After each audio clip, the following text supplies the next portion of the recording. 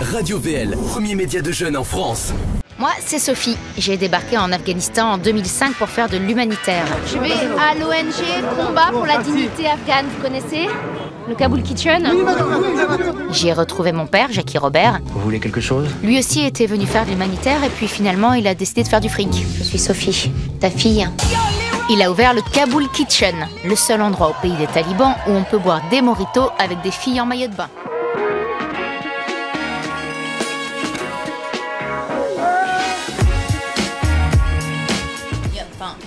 Il y, a, il y a tellement de moments, c'est hyper dur d'en d'en retenir un. Ça fait six ans de nos vies que voilà qu'on va faire des allers-retours à Casablanca, qu'on se voit, qu'on se côtoie, qu'on devient une troupe, une famille, qu'on s'adore, qu'on est content de se revoir, que on était voilà dans les mêmes appartes, dans le même immeuble, à faire des bouffes ensemble le soir, à faire le tour.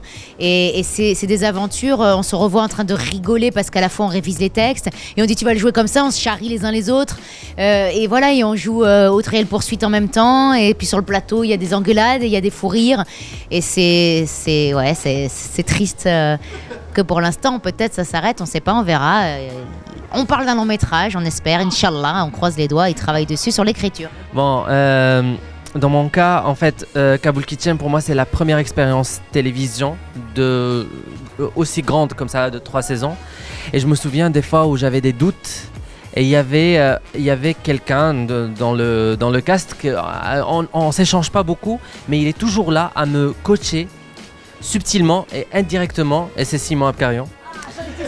Et, euh, et à, me- rassurer et, euh, et d'une façon très subtile, sans que je, sans pression. Et, ça, c'est des moments que euh, dont je me souviendrai toujours. Après, il y a des, des moments très drôles, il y a des moments qui sont magnifiques, euh, comme, comme, comme ce qu'elle a dit. donc voilà. Ah oui, eh ben moi je suis tout à fait d'accord euh, avec euh, Fessal. C'est vrai qu'en tout cas euh, Simon ça a été un vrai soutien euh, pour moi aussi dans dans ce- non c'est pas non mais c'est vraiment je rebondis pour pour plein de raisons mais voilà c'est vrai c'est vrai qu'il est là pour il a un côté aussi où il nous chapote. Enfin en tout cas moi il m'a aidé. Je me suis inspiré beaucoup de Simon et du jeu de Simon pour pour Lala. Et quand j'avais quand j'ai eu des doutes surtout en saison 2 d'ailleurs. Euh, je lui demandais et puis euh, voilà, il m'aidait. Mais en tout cas, voilà, c'est juste que effectivement, c'est une vraie famille qui s'est créée. Euh, moi, je suis arrivée en saison 2, j'ai été super bien intégrée. Et, voilà, on est une, une famille pour moi, c'est ça. Donc voilà, je vous aime. Eh ben, qu'est-ce que je peux dire d'autre? C'était intéressant de, finir les scènes qu'on avait à faire et de rester dans les scènes où on n'était pas. Moi, je faisais souvent ça. Je regardais le travail de, mes, de mes collègues, de mes amis. Et, et comme ça, je me, je me faisais une idée aussi de la température du, ambiante du, du travail. Quoi. Je voulais pas qu'il y ait quelqu'un qui soit, qui soit dans, dans, dans, dans le mauvais doute. Voilà, je voulais pas, je voulais pas qu'il y ait quelqu'un qui soit dans la, dans la mauvaise frustration. Ou, je, je voulais être là et puis voilà, parce que bon, euh, il se trouve de par mon âge que j'ai 55 ans et, et que je, voilà, je suis là aussi pour, pour, pour les, les camarades qui suivent. Mais pour parler des, des temps forts qu'il y a eu dans cette, dans cette euh, trilogie, parce que c'est trois saisons, moi je dirais c'est la naissance de son enfant et la naissance de son enfant. C'est-à-dire que ces filles-là, on les a connues, c'était voilà. Et tout d'un coup, elles sont devenues mamans. Je trouve ça formidable de pratiquer des années de vie ensemble et de voir des jeunes femmes devenir des jeunes mamans épanouies, qui continuent à aimer leur métier, mais qui, qui, voilà, qui sont là pour leurs enfants et qui sont tout aussi passionnées euh, euh, par, par, leur, par leur travail. Et pour ça, je trouve que c'est super beau. Voilà. Bonjour. Salam, salam. Où tu vas? Ben, à Kaboul. Kaboul. monte, fils de la chèvre. Fils de? La chèvre, monte. Pourquoi la chèvre? C'est une expression locale. Boche. Monte. Je- Il faut que d'abord que je récupère mon sac. Euh, en, fait, euh, en fait, déjà, le, le scénario, il est super bien écrit. Euh, euh, toutes les, les punchlines euh, sont majoritairement déjà, déjà écrits. Euh, ça craint du cul, euh, beau comme un avion. Euh, tout ça, c'était écrit. Après, c'est tellement bien écrit que tu, tu te l'appropries rapidement et tu l'interprètes euh, avec, avec, euh, organiquement. Et donc, euh, voilà, c'est grâce à, la bonne écriture que, que, que, ça, que ça semble. euh, euh, euh, que ça semble comme, comme de l'impro, alors que c'est écrit. Alors moi j'y ai un peu participé euh, dans, Enfin, pas officiellement, mais sur le plateau, je proposais ça, ça, ça, ça. Et c'était, pris parce que, enfin, ma mère, elle parle, euh, elle fait pas la différence entre le féminin et le masculin, parce qu'en arménien, ça n'existe pas. Donc, je me suis un peu aspiré de ça. Et puis, c'est vrai que c'est tellement fleuri qu'on pouvait se permettre de faire ces choses-là. Mais ce qui était bien, en fait, tout, c'était la faculté des, actrices et des acteurs d'écouter vite. Parce que c'est pas des, parce que tout ça, c'est une question de rythme. Les punchlines, si le rythme est pas là, ben, le punchline, eh ben, il tape dans le vide et puis, et puis ça fait rien, quoi. Ce qui était joli à voir, et sur toutes les saisons qu'on a faites, c'est de voir ces femmes et ces hommes qui s'écoutent vite. C'est pas qu'ils parlent vite, mais qui s'écoutent vite et qui parlent. Et du coup, euh, c'était tout le temps enlevé. Et du coup, quand il y avait des moments dramatiques, tac, il y avait un. voilà, c'était super bien écrit. Il fallait plus qu'ils jouaient, quoi. C'est tout. Et c'était bien écrit. Qu'est-ce que je vous dis Quand c'est bien écrit, il n'y a plus qu'à. hein. Oui, le bus, euh, c'était incroyable d'être tous ensemble. euh, D'ailleurs, c'est un peu dingue que, bah, voilà, on a fini tous ensemble, quoi.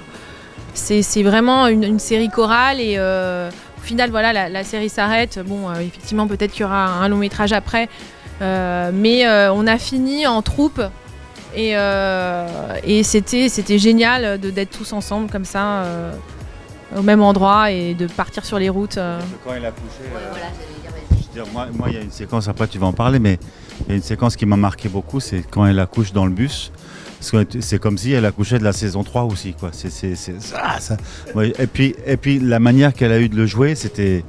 Je dis pas ça parce qu'elle est là, c'était, ah, c'était fort. Quoi. C'était une actrice qui, voilà, qui va. Quoi. Et puis la question d'on y croit, on n'y croit pas, elle se pose même plus. C'est ça, c'est là. Et je trouvais ça, euh, voilà, bravo. Mais, mais parce qu'il y avait aussi de la, de la, on était là, quoi. On était avec elle. euh, C'était un vrai accouchement pour nous. La question ne se posait pas, quoi. Voilà. Ouais, j'étais entourée. C'est vrai que d'être dans ce bus euh, les, deux dernières semaines, euh, c'était euh, c'était une grande aventure. On a beaucoup rigolé, on craignait de, de se détester les uns les autres avec la proximité, la chaleur. On l'appréhendait énormément et en fait, c'est un souvenir incroyable avec Simon qui chantait à l'avant, qui nous faisait la radio. Et, et oui, cette scène d'accouchement qui a été extraordinaire parce qu'en plus, j'étais censée faire ça dans un dispensaire, mais le décor au dernier moment a sauté et on l'a fait dans le bus et c'était encore plus magique. J'étais face au désert avec Michel Colincourt qui m'accouche, avec Lala qui me tient la main, les autres, les hommes qui clopent au fond. C'était un décor incroyable.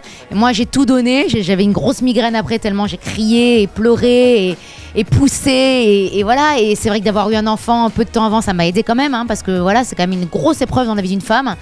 Et, et c'était une scène magnifique. J'avais peur aussi en la lisant. Et j'étais très contente une fois que c'était fini. Bah, tout ce que j'ai fait, moi, ça a été incroyable. Donc, euh, pour moi, hein, je parle pas en général, mais c'est vrai que les beaux mecs, pour moi, ça a été incroyable.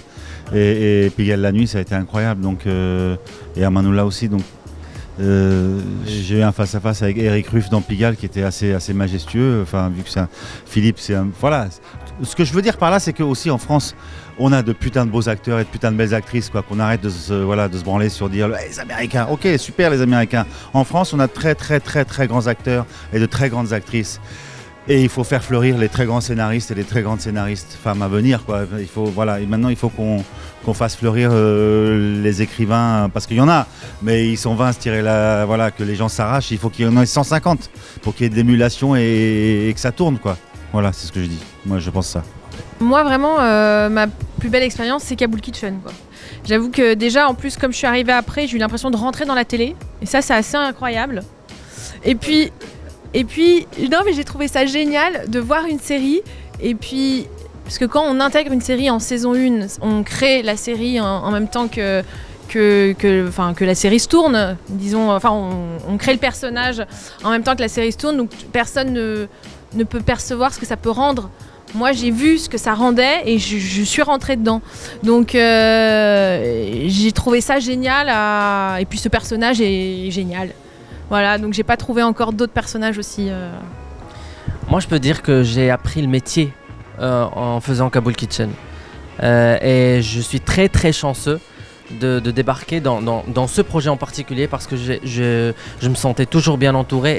Et, je le dis sincèrement, c'est pas genre. euh, euh, parce que c'est des gens euh, qui, sont là à, à t'aider, à te faire comprendre des choses. Et je crois qu'en trois saisons, j'ai fait vraiment un supplément de, de- ma formation théâtrale à Rabat. J'ai appris énormément de choses. Et donc, c'est évidemment, c'est Kabul Kitchen la plus grande expérience. Bon, moi, hormis Kabul Kitchen, qui évidemment est un rôle magnifique et des années de ma vie, euh, j'adore les personnages de composition. Et celui qui m'a marqué dans ma carrière, c'était le Vernicrac, où je jouais la maîtresse de Toulouse-Lautrec, une prostituée, en corset, rousse.